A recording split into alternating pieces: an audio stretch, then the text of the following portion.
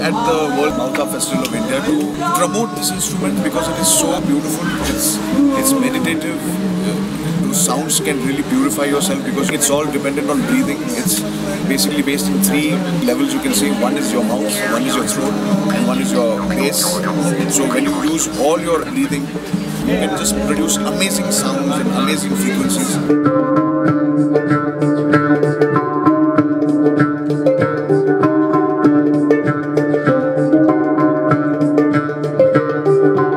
I started playing mouth harp when I was 12 or 13. One in a little basket next to my mom's bed. Asked her what it was. I thought it was an apple core. She taught me how to make a little sound out of it. I didn't put it down and started from there.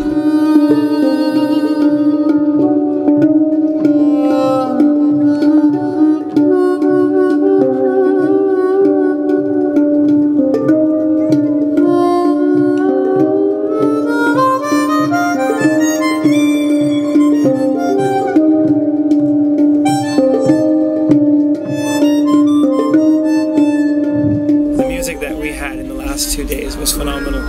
Every single band, every single performance, every single group that went up on stage had the mouth harp playing with it. And with this, I was able to present the fact that the mouth harp is a contemporary musical instrument.